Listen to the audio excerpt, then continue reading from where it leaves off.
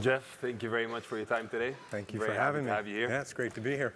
Um, let me start off by um, by saying that we usually ease into those conversations with um, with lighter topics. However, uh, there's a very special topic on everyone's mind this week, and that is recent immigration policies. Mm -hmm. So we are 40% international, and um, it's affected us quite deeply. So as a CEO representing your company to the public, how did you think about reacting to last weekend's executive order? Yeah, it's, uh, first of all, it's great to be here. Thank you so much for having me. Thank you. So there's uh, different ways to go about addressing an issue like that. And you have to think about your audience, your constituencies, and who you're trying to reach, and what your objectives are. The first thing to keep in mind in a situation like that at least uh, for us at LinkedIn, is the well-being and the safety of our employees. Uh, we, like the student body here, have a number of uh, immigrants at the company. Uh, we have a number of people who have yet to become citizens, who are here on working visas and green cards. And we wanted to make sure that we could identify anyone who was a citizen from one of the named seven countries and that they were here and present and accounted for and safe. And we wanted to uh, also do that for their immediate family. So that was the very first consideration. Mm-hmm. The next thing we wanted to do was make sure that we were making clear how people could get involved if they wanted to help and make a difference. Uh, as a company, you know, our vision is to create economic opportunity for every member of the global workforce, all of them. Uh, that is irrespective of country of origin, ethnicity, religious belief. And uh, we have had some ongoing programs to help refugees find work. Uh, that started in Sweden, and we had some, some success there, some early success. We extended that program to Canada, and with the executive order that was announced here last Friday, uh, we accelerated the launch of what we call the Welcome Talent Program here in the United States. We also wanted to make sure that employees who wanted to get involved understood that through our employee-based foundation, uh, they could contribute and we could allocate those funds uh, to efforts that are making a difference. Mm-hmm.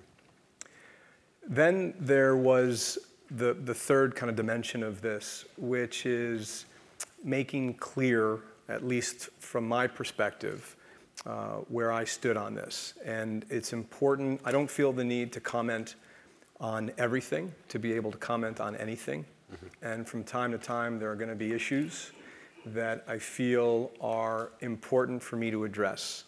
And they're important to our employees. And uh, this was one of those times. Mm-hmm. And in a situation like this, uh, at least through my experience, one of the things that I've learned is that you have to strike uh, a very delicate balance when you're expressing personal belief versus expressing belief as a CEO because you're representing your employees, your company. And in this particular instance, I felt the need to express my own views on this, and that was that this country, the United States, was founded on a first principle and belief that all people, should have an inalienable right to life, liberty, and the pursuit of happiness. And America, that America has truly been a land of opportunity. It is a country and an economy that was largely built on the tireless efforts of immigrants who came to this country seeking a better life for themselves and their families, that ultimately uh, created a spirit of entrepreneurship and were able to innovate and introduce products and services and build companies that employed many, many people and made a difference in the lives of so many in this country and beyond. And I shared through social media a statistic that some people may be less familiar with, but that 40% uh, of the Fortune 500 was founded by immigrants or the children of immigrants. Yep. Just as one uh, empirical point uh, to support this idea. And then again, coming back to our vision as a company where this uh, becomes aligned, mm-hmm. Is our position, our purpose to create economic opportunity uh, for every member of the global workforce. And so, uh, you know, I was expressing that position. And at the same time, and you asked the question, how as a CEO do I address this? It's very important for any of you that go on to start your own companies, join companies, become senior leadership, or become a CEO yourself, that you recognize that not every employee within your organization may agree with you or may agree with the people they work next to day in and day out. And this was a very valuable lesson that many of us learned during this election cycle. Mm-hmm. Because a lot of folks uh, in California vote a certain way, in Silicon Valley vote a certain way, within a specific company may vote a certain way.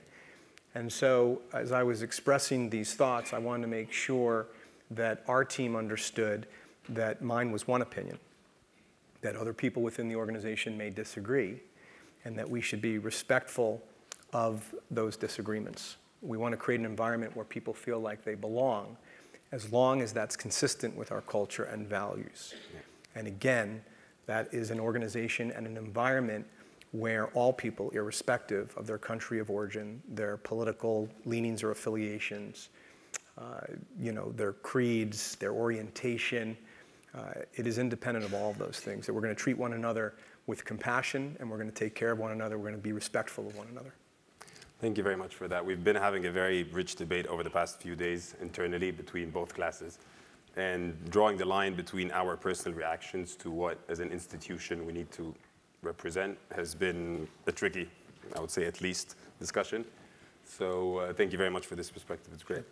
And before we go into the specifics of LinkedIn, um, I wanted to get your take on another topic that, that could potentially have very high impact on the workforce. So um, a couple of months ago, you addressed uh, your, the LinkedIn employees, and you told them about what some people refer to uh, as the fourth industrial revolution. Mm -hmm. So can you tell us a bit more about that concept and how you think it's actually going to shift the dynamics of the workforce and the economy as a yeah. whole? Absolutely. So uh, this was uh, a theory that uh, I first became familiar with through the World Economic Forum. They were talking about the fourth industrial revolution, uh, the first mechanization, largely based on the steam engine. And uh, the second was mass production, and that was largely based on the introduction of electricity, division of labor, uh, assembly lines, and factories.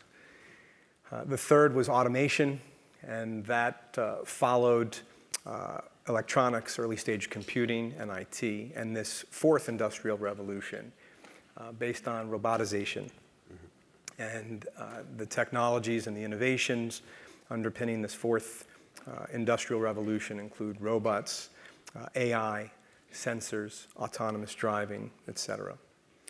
And what's noteworthy about this fourth industrial revolution is that in the first three cases, uh, new innovations, new technologies gave rise to companies that generated uh, massive gains in productivity and new job opportunities.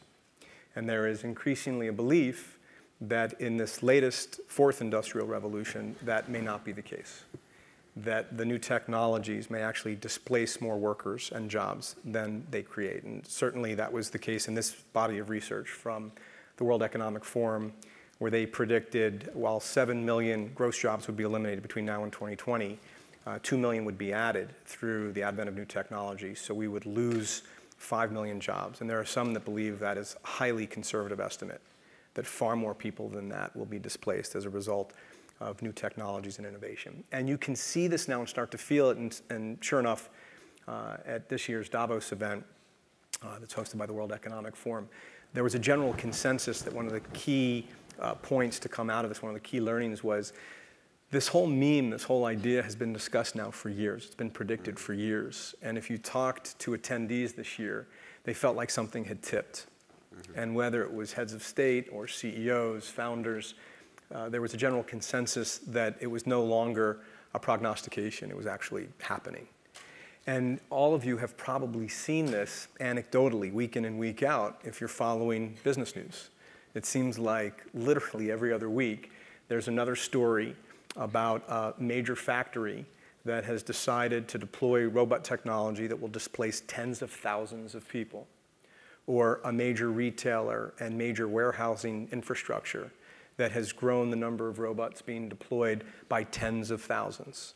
Or autonomous driving, which has the potential to happen far faster than anyone could have anticipated. And for those that don't know, trucking is like the number one profession in California. A lot of people don't realize that. And what happens to those folks?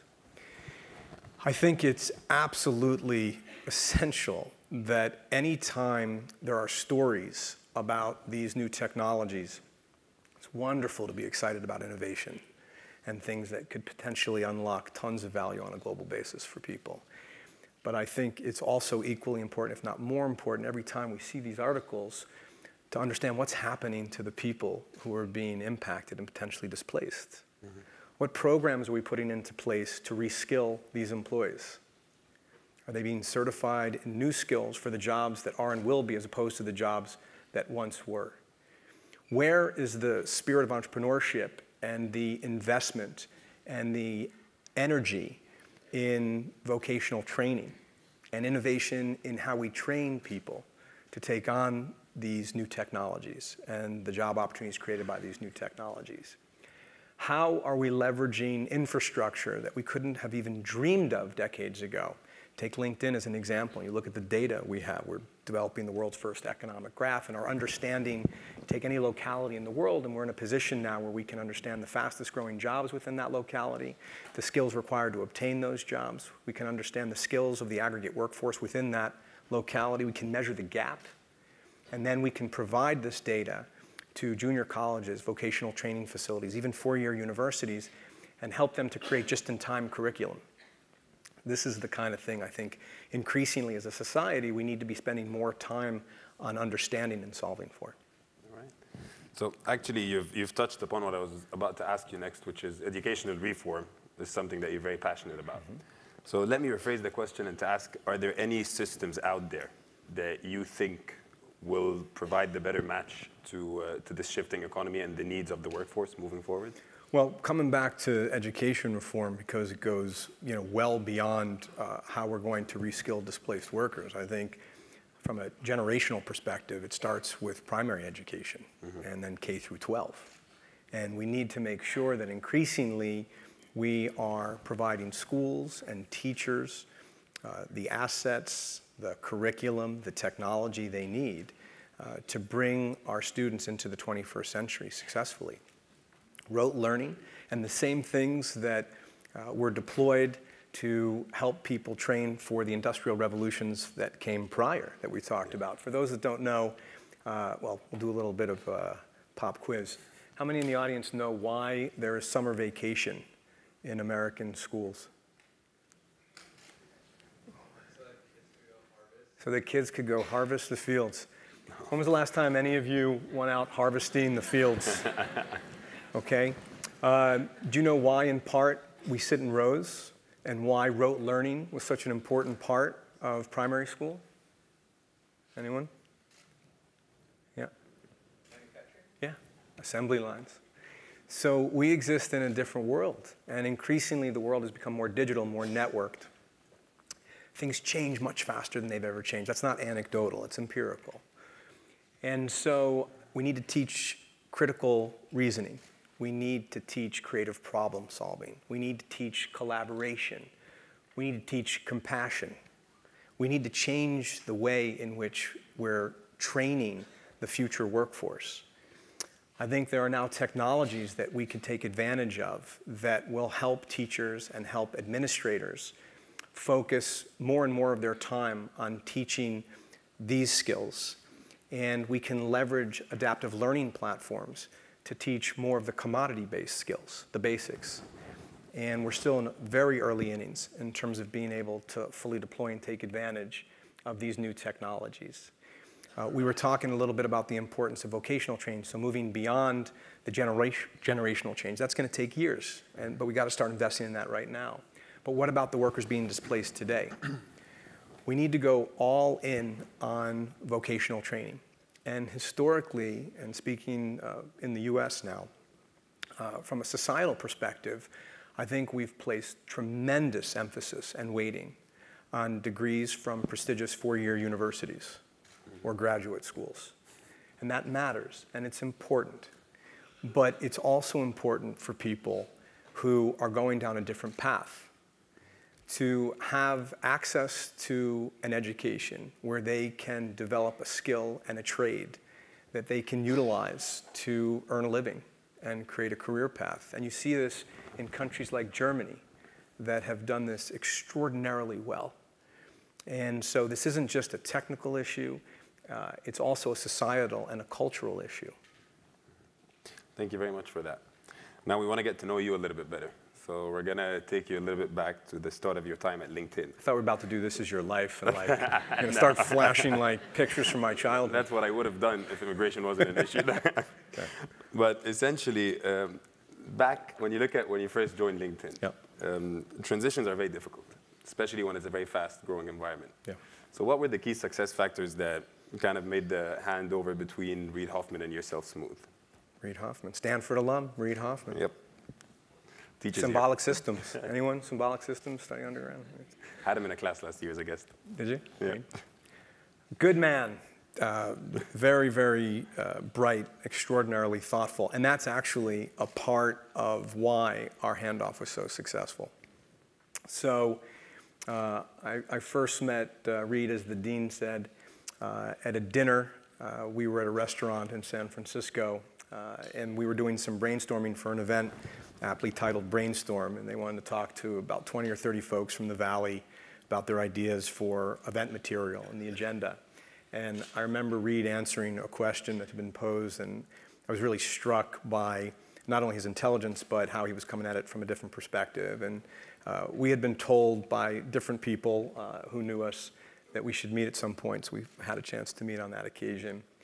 And uh, a little piece of trivia, Reid was actually the last guest speaker I brought in uh, to talk to my team when I was an executive at Yahoo uh, before I ended up leaving the company. At any rate, when LinkedIn elected to make uh, a change at the CEO level, uh, for those that don't know, uh, Reid had been the founder and CEO. He had then hired a professional CEO, a guy named Dan Nye, who did a wonderful job. And Reid was the president of product, reporting to Dan, who was the CEO who then reported to Reid as the chairman and founder of the company. what could possibly go wrong with that construct? so uh, it didn't work out the way people had hoped. Uh, and the two of them had a great deal of admiration for one another. That's not what it was about. So when Reid was looking to make a change and he asked me to get involved, uh, he said, I was, uh, at the time, I was an executive in residence at Greylock, and uh, LinkedIn was a portfolio company, and I understood they were making a change, and someone said, would I be interested in helping out? And I said, absolutely, that's one of the reasons I'm here. So I'll, you know, I'll take a couple of days a week, and I'll help Reid out any way I can. And they said, okay, you should go meet with him. I said, okay. So I go meet with Reid. We were actually in his house, and I think uh, I was sitting in a LinkedIn beanbag chair with like the words innovation, and everything had an in logo on it. And he said, so I have uh, two lists. I have uh, an interim CEO list and a full-time CEO list, and you're the only person on both lists, so what do you say? It's like, whoa, what, what, you know, I, I was gonna volunteer to help. He's like, no, no, you gotta, you gotta come in and let's make this happen. So I agreed that uh, well, I was gonna start on an interim basis. Uh, because I had just left Yahoo. Um, I was there for a number of years and uh, wasn't sure how quickly I wanted to get back into a full-time position. And I said, as long as he was open to having me full-time and I could start interim, I'd be open to that. And he said, as long as you're open to being full-time, you start as interim and then we'll see how it goes. I said, great.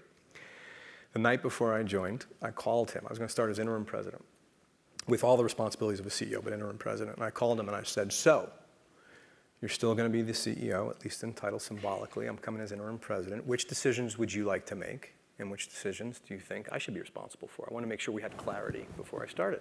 He said, This is easy. It's your ball. You run with it. I go, What? He said, Yeah, you're going to make all the decisions.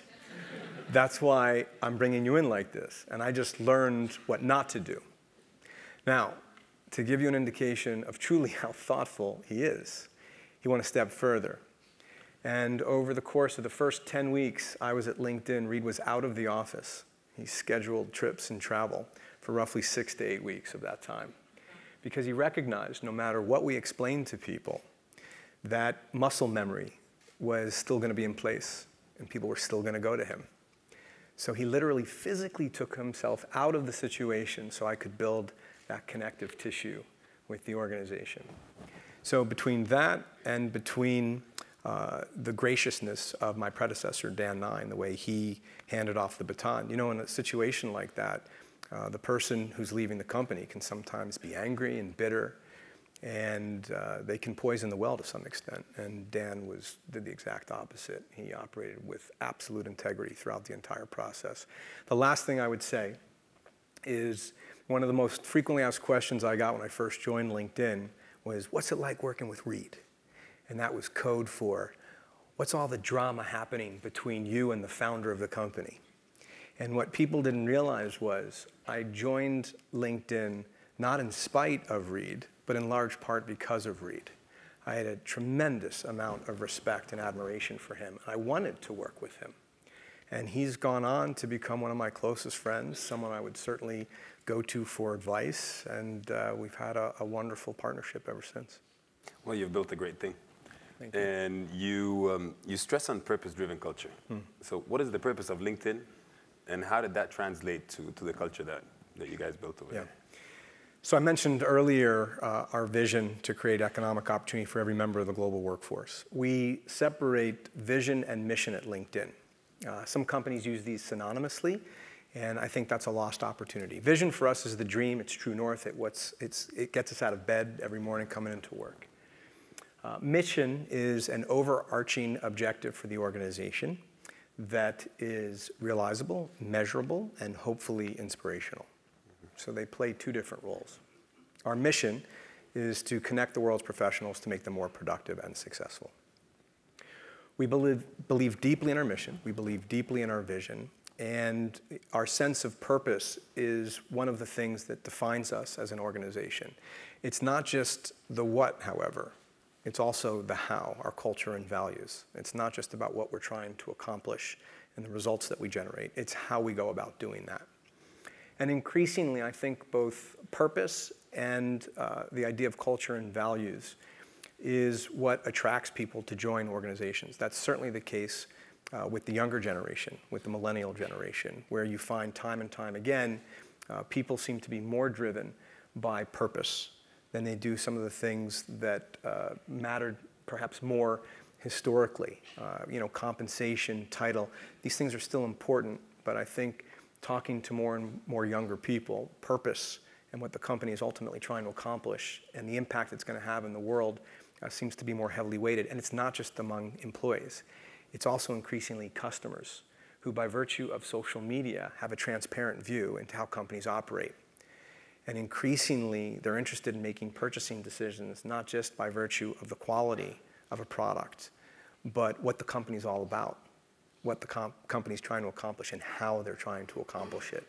And regardless of whether or not the company is making clear how they're going about their business, people are going to find out in this day and age. So I think purpose uh, plays an important role in terms of inspiration, motivation, not only of your employees, uh, but also in terms of building a relationship uh, with your end customers and all the key constituents within your ecosystem. So that purpose, when you, when you, if I walk into an, an average office floor in a LinkedIn building, and I walk in, what are the culture components? What am I going to feel out of the group that represents the purpose that you just talked about of creating economic opportunity? Yeah. So you're going to get a sense. I mean, if you literally ask people, they would tell you. We, we have five cultural dimensions, we have six values. And uh, in summary, if you ask people to define our culture, they would say it's a culture of transformation transformation of the self, transformation of the company, transformation of the world. Uh, the other four integrity, collaboration, humor, and results. Okay. Uh, with regard to our values, the first value that they'll tell you about and our most important value is that our members come first. Not at the exclusion of everything else we do. It's not members only, but it's members first when we're making decisions uh, because without our members, we don't exist.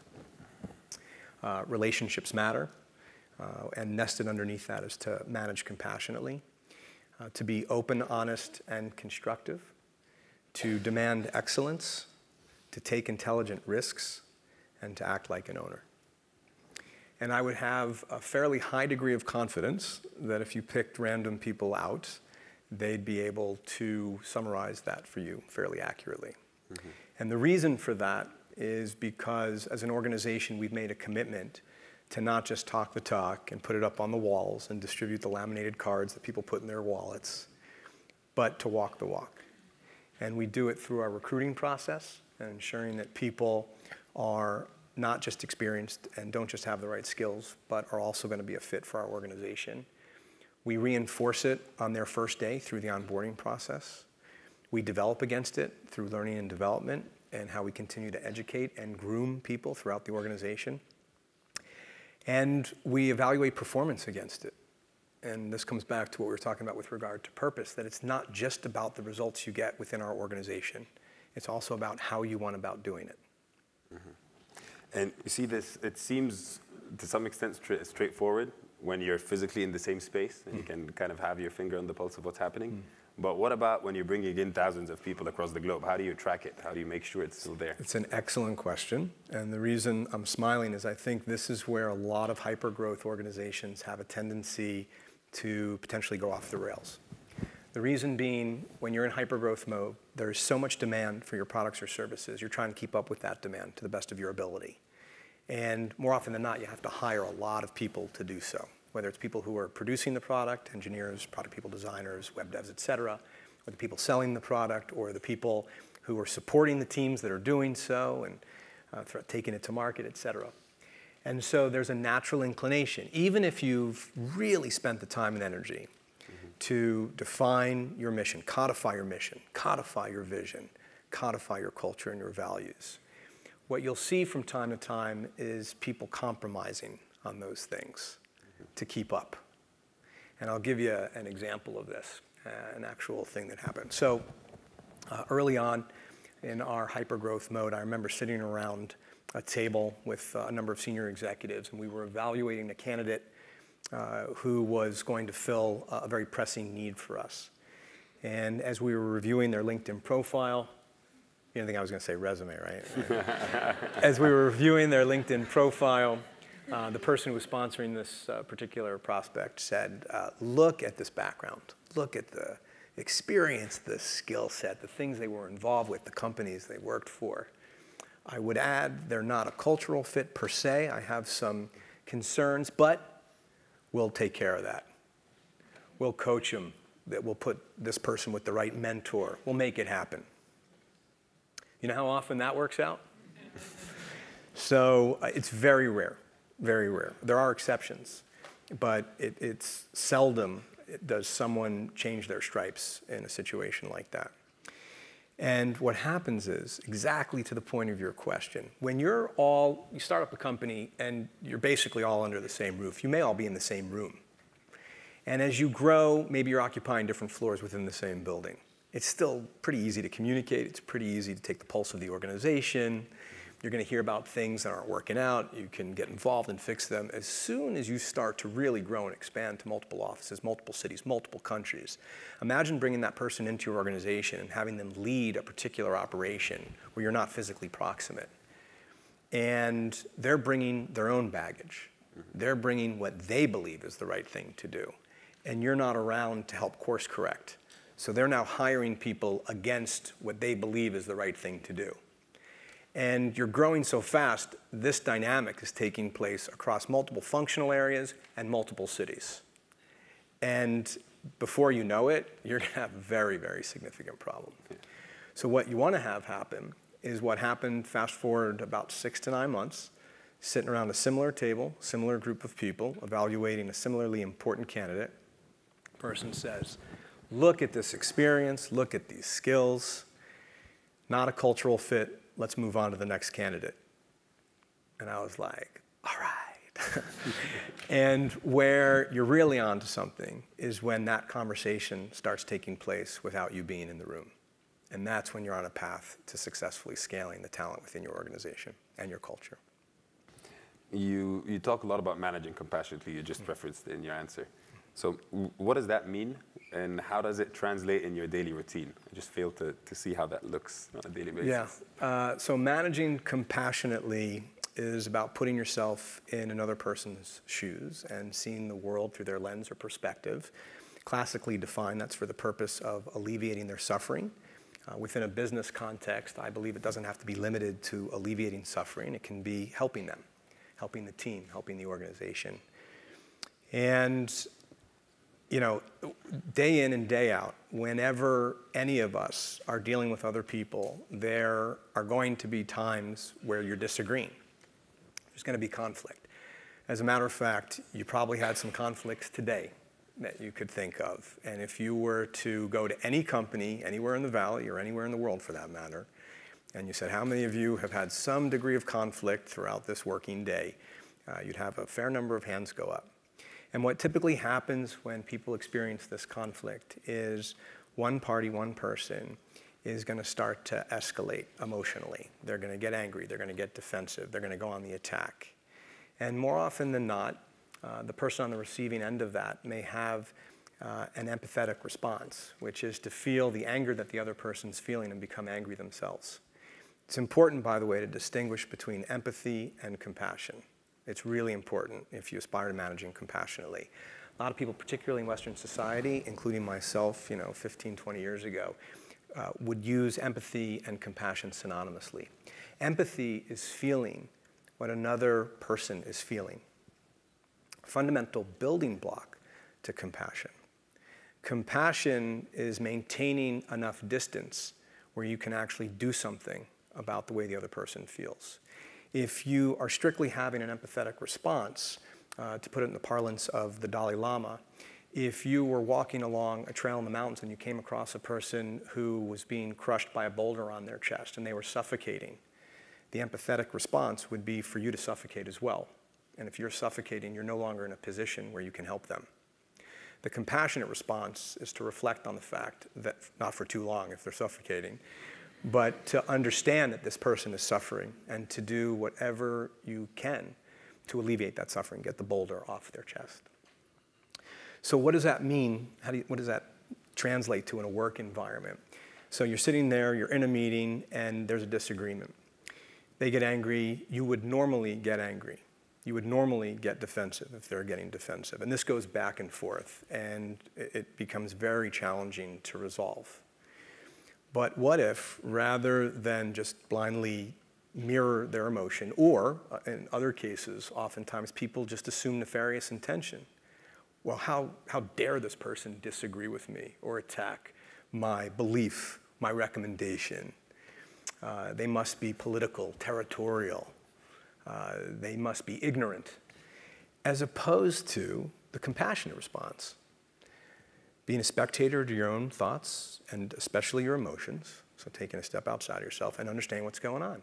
Maybe that person is having a bad day and it's got nothing to do with you or anything you said. Maybe you pushed a button in that person where they had something traumatic happen to them five years prior, uh, unbeknownst to you. Maybe you're talking about a subject that the person is less familiar with and they're feeling a little bit vulnerable, a little bit insecure about looking bad in front of their peers. I could go on and on with all the potential reasons that this person may be acting the way that they are. And the more you can take the time to understand that, the more you can connect with the person and constructively begin to understand where they're coming from and work towards compromise or at the very least work towards shared understanding.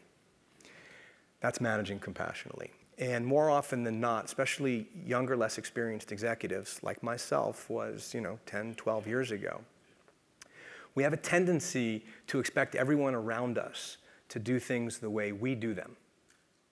That is natural. It's egocentric, not egomaniacal. Okay, it's egocentric, and that's human nature. But you're not going to get the best out of the people you're working with if you're constantly holding them up against a lens or a bar of what you yourself are capable of and precisely how you do things. What makes far more sense, where you're going to get much more value out of those individuals in the team, is when you understand their strengths, their unique strengths. You play to their strengths. Where you understand areas for improvement and you coach them on those areas for improvement, or you change their role such that it's better aligned with their strengths. And when you can do that, when you can begin to do that, you start to unlock value that's not possible when you're only thinking about the world through your own lens. And so managing compassionately has been something I've been aspiring to do now uh, since first realizing this. And like I said, it's probably coming up on 12 plus years at this point. I say aspiring because it's really, really hard to do because we're all human and we all have buttons that get pushed. So for anyone out there that decides they do want to practice more compassion at work, recognize you're not always going to be able to do it, and that's okay. The aspirational component of that's really important. I'm sure most of us after this talk are going to empathize with you and try to feel what it's like to build a $26 billion company. But that's, uh, that's promising. You're, um, you're one of the very few CEOs that survived multiple uh, growth transitions. Mm. So you went from private to public and then through the Microsoft acquisition. What keeps you the right man for the job? And what were the different challenges that you had with each stage? So, in terms of the challenges at each stage, it's funny uh, you frame the question that way. Uh, I used to get asked after I uh, first joined the company, about six, nine months of being there, what keeps me up at night? Mm-hmm. And uh, beyond having a newborn at the time, uh, which was keeping us up, uh, literally keeping us up at night. Uh, in, in terms of the, the work, it wasn't keeping me up at night per se, but what I constantly and, and vigilantly focused on uh, was the idea of focus and scale. That was the case when I first joined the organization. We had 338 people. That's the case today. We have north of 10,000 people. Focus and scale. Focus is understanding not just your mission and your vision and your culture and your values, but your core value proposition. What is the value that you're going to bring to the people that you serve, your members, your customers, et cetera? And all too often, particularly uh, amongst hypergrowth companies, you see organizations that break through on something, they introduce a new product or service, and there's massive, massive demand, and they go on this hyper growth journey. But they don't necessarily take the time to codify and really specify their core value proposition. You know, if you wanted to visualize, think about a target, and the bullseye is your, your core value proposition or the manifestation, the product or service that's going to be the clearest manifestation of your core value proposition. Our core value proposition is to connect our members and customers to opportunity. And when you draw this target, you start with that bullseye, and then you can add concentric circles. And those concentric circles are what's possible, the adjacencies that are possible as you extend from your core. If companies do take the time to define the core, and that's one of the, the classic mistakes is they don't take the time to do so, but if they do take the time to define the core, the next most common mistake I see in a hypergrowth situation is to draw resources away from the core too quickly in pursuit of the next bright, shiny object. And as a result of that, you leave your core vulnerable. And if you've had success, there's going to be a lot of competition waiting for you to stumble. And they've seen what you've done, and they're going after your core and then they go after the core, and you're in a position where you have to react to the competition now, and you have to draw resources away from that growth opportunity back to your core, and you're whipsawing people within your organization. Now you're reacting as opposed to being proactive and strategic, and that is no good. So clearly define and codify your core. Make sure your first managerial cycle, your first dollar of capital, your first resources are going into the support of building that core and achieving critical mass. And once you achieve critical mass, then take incremental investment and invest it into strategic opportunities and what we like to call venture plays or venture bets. So that focus is critical. Uh, it's also really important that people take the time to understand scale. And again, with regard to hypergrowth companies, a lot of organizations and the people leading these organizations become fixated on innovation. And at times that happens at the exclusion of putting the right building blocks in place to support scale over time. And scale, brass tacks, comes from less glamorous things. It comes from investing in the right people and talent. It comes from investing in the right process. It comes from investing in the right infrastructure. And that will lead to future innovation and success. But if you're focused on innovation at the exclusion of those things, or you're not taking the time and energy and prioritizing those elements, those foundational building blocks, it's going to be very, very difficult to scale the organization over time. The last thing I would add, if, if we're talking about a company in terms of multiple phases, is as an organization matures and it comes out of hypergrowth, which inevitably happens to virtually all organizations, although if you look at Facebook's most recent results, they're still growing 50%, $32 billion revenue run rate, which kind of defies gravity. Very unusual. But as organizations mature and their growth rates slow, it's really important to get ahead of that dynamic.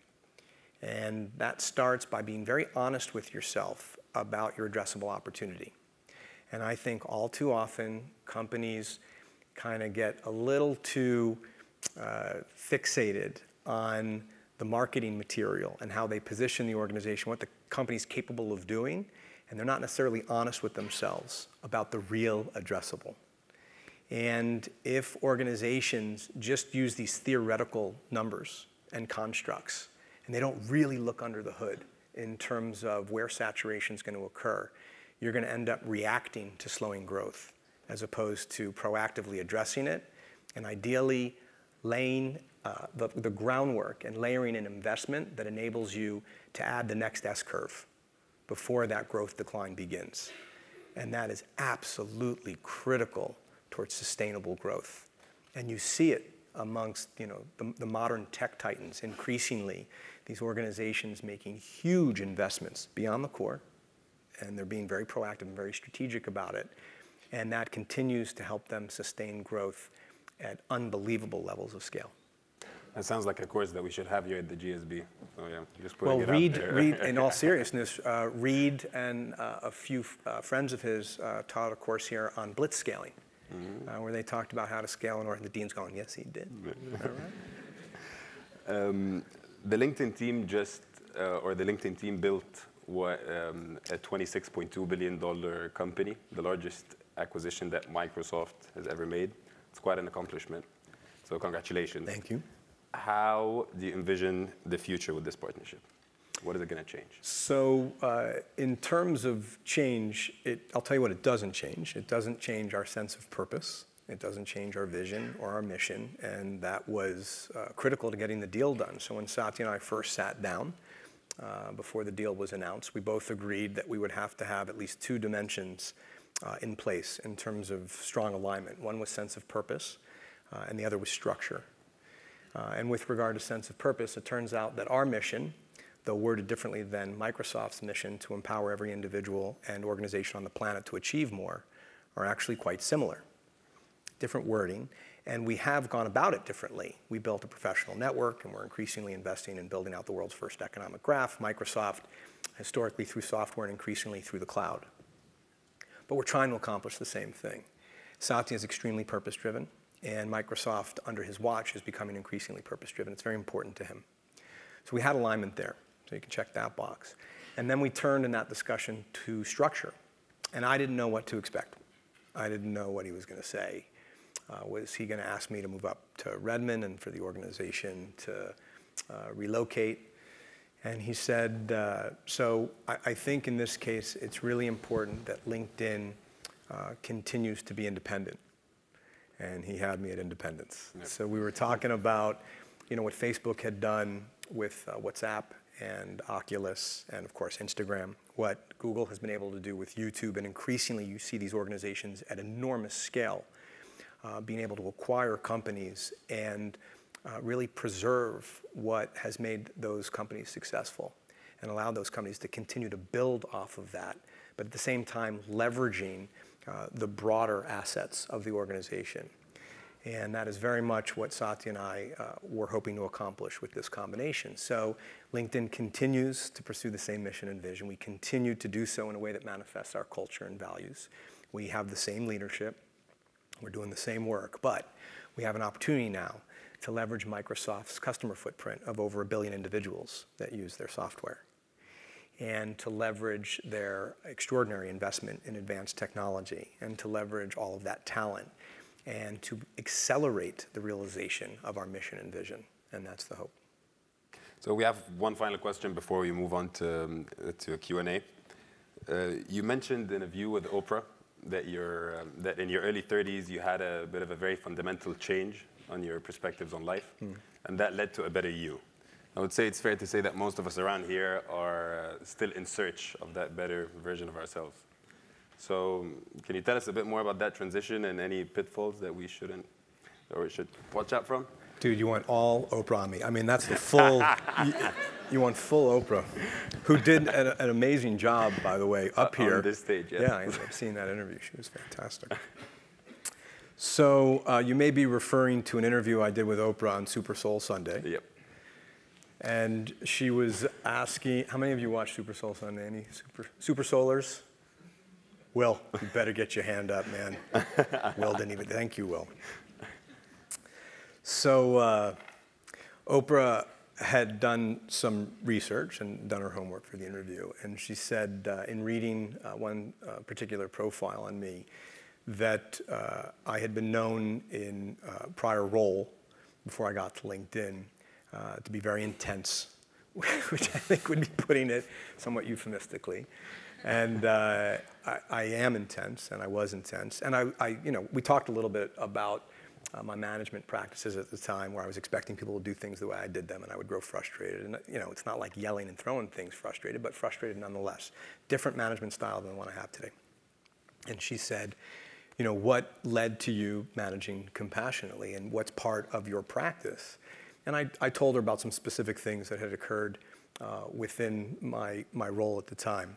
But at, at the end of the day, the, the biggest difference for me personally was meeting my wife. And my wife led to uh, a very different perspective for me. And she valued things that I hadn't placed as much value on historically. Uh, things like kindness and love and gratitude. And it changed everything for me. And I'm very, very fortunate to have met her. And, uh, you know, you hear all the time, I wouldn't be in this position if it weren't for, you know, so and so. But in my case, it's, it's absolutely the case. Thank you very much for that. Sure. We're going to open up the Q&A now. Um,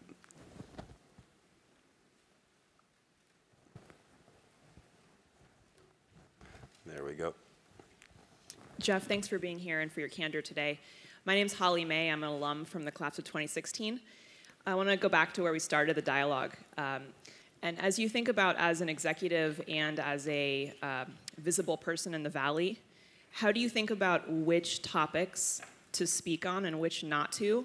Uh, and in the current context, we've seen a lot of execs talk about the uh, executive orders, and yet this week starts Black History Month, and that hasn't gotten an equal amount of attention. How do you think about which, uh, which topics to show up on and which not to, and the consequences of those choices? Yeah. So, uh, you know, interestingly enough, we, we have a lot of activity planned within LinkedIn on Black History Month, and uh, it's being led by an amazing employee uh, resource group and our leadership there, and uh, we're excited about that. Uh, you ask uh, an excellent question, and you know, my, my first response would be there is no formula for this. There is no cookie cutter approach to this. Uh, it at times is a deeply personal decision. I think it's really important to know where you stand if you're going to be in a position of leadership, uh, to know what your company is trying to accomplish, to know how it wants to accomplish it, to be very clear with people about those values and where you draw lines and where you're willing to compromise and where you're not.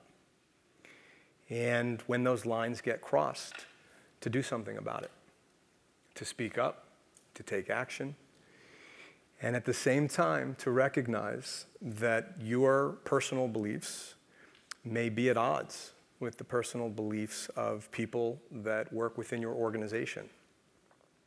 And that as long as people who disagree do so in a mutually respectful and compassionate and constructive way that is consistent with the way in which you want to go about your business, uh, consistent with your culture and consistent with your values, that every individual within an organization should feel as if they belong there.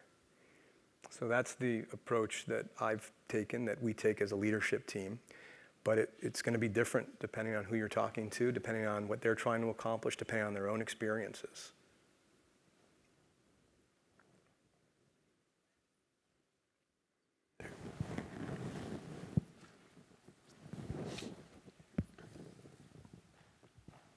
Thank you so much for being here and sharing all the information with us. And I'm Akash, I'm an undergrad freshman.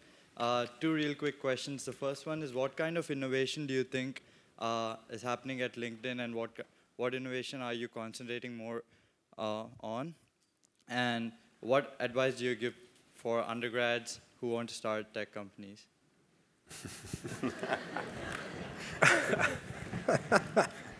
Have a good LinkedIn profile. Okay, yeah. so, um, on the first, in terms of uh, the innovation taking place, uh, we are, last year, we completely overhauled our uh, mobile flagship application. Uh, we are in the process right now of uh, rolling out a new version of our desktop experience that's built on a new front end framework called Pemberly that's going to enable us to uh, iterate and innovate up to 10 times faster than what we could do historically. So we've got some very strong building blocks in place. Uh, we also have a very clear sense of the assets that we've been able to develop to date. Uh, one of the things that we're going to be investing in uh, more aggressively is the application of artificial intelligence.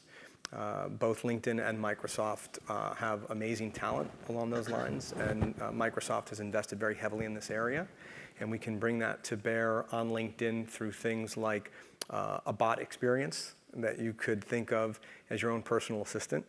So we could provide uh, a personal professional assistant to every member of LinkedIn, uh, whether that's calendar integration and providing you the inf information you need to be better prepared for the person you're about to meet, or ultimately uh, making sure you have access to the right information to complete a project. Uh, there's a whole host of things that we're very excited about to bring to bear there. Uh, we're going to continue to invest very aggressively in making our feed and the content within our feed uh, more relevant and more personally relevant. Uh, we've only begun to scratch the surface there, and what you're going to start to see this year are what we call interest feeds. So we can take packages of content by virtue of machine learning, social cues, and our editorial team, and we can curate these packages. Uh, so whether it's around the executive order or a major announcement by your company uh, or a shift in the economy, uh, you can not only see articles that were written by uh, you know, publishers that you're following or influencers that you're following, but what people in your network are, are saying and the information you need to know right now as a professional to make better decisions. So we've only begun to scratch the surface there, so stay tuned on that front.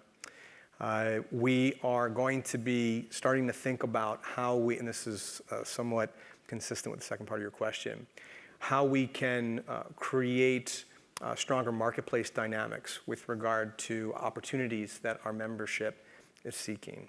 Not just jobs per se, although that's a huge priority for us, but say mentors and mentees, or people that want to get involved in philanthropic activities and the, the nonprofits who could use their skill sets or their resources. And for those seeking investment, if you're starting a company, uh, we've got a lot of people on LinkedIn who are very interested in investing and those are just a few examples of what would be possible uh, with regard to those marketplace dynamics. So uh, stay tuned for that. Uh, we're going to start to uh, experiment with that as well. And that's, you know, that's largely oriented around LinkedIn. Then there's a number of areas where we're very excited uh, to potentially uh, integrate assets with regard to Microsoft. So bringing LinkedIn, LinkedIn Identity, your network into the Office experience, notifications within Windows, we're excited about the opportunity.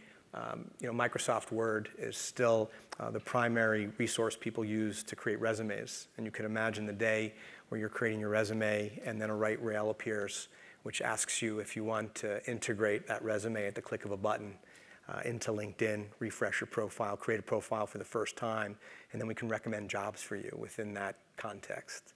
So there's some exciting things we're doing along those lines as well. In terms of advice I would give to you uh, if you're interested in starting a company, I guess it, it, wouldn't be dissimilar from the advice I would give anyone in the audience in terms of uh, how to optimize for their career path and how to achieve success. And that would be first and foremost to take the time to understand what it is you're ultimately trying to accomplish. And the more specific you can be, the more likely you will be to achieve it and you're going to manifest that in ways explicit and implicit. And I don't mean this in some new agey, predeterministic way. I mean very practically. The clearer you are about what it is that you want to accomplish, uh, the more you can clearly communicate that to the people around you, the more doors are going to open up, the more you're going to attract the right kind of opportunities. Uh, so that's really important. And when it comes to defining what it is you ultimately want to accomplish, uh, try to optimize for two things your passion and your skill, and not one at the exclusion of the other. So that would be first. Second would be to surround yourself with the best possible talent that you can. And when I was younger, I used to think that was all about hitching my wagon to the right train in terms of my boss or a mentor. And as I've gotten older, I've realized that as the world becomes uh, more networked, as we become more dependent on knowledge and having the right knowledge at the right time to accomplish certain objectives, it's really about people. And so it's not just about who you work for, it's about who you work alongside of and who works for you. And making sure that you don't settle and you don't compromise in terms of where you set that bar on, on skill and talent and on fit with your own values. I think that's really important. Uh, personally, I like to work with people who dream big, who, can we curse here? Is that all right? Who get shit done, and who know how to have fun. Not to be confused with constantly partying, because it's going to be difficult to get work done if you're constantly partying, but knowing how to have fun is a proxy for being of like minds culturally. So surround yourself with only the best talent. And the third would be to always be learning. The world is changing so fast right now. There's an acceleration. It's like logarithmic, the rate of innovation. And the days where you could study one thing and have a role or a, a, job guaranteed for the rest of your life, I think those days are long gone. We have to constantly be learning, continuously learning. And if you have a natural inclination or passion for that, if you're naturally curious about the world around you, you will be that much better positioned to continue to learn over time. Well, we're not Oprah's uh, Soul Sundays, but we hope this was fun for you. Yeah, it was great. Thank you very much. Yeah, thank you for having me. Thank you.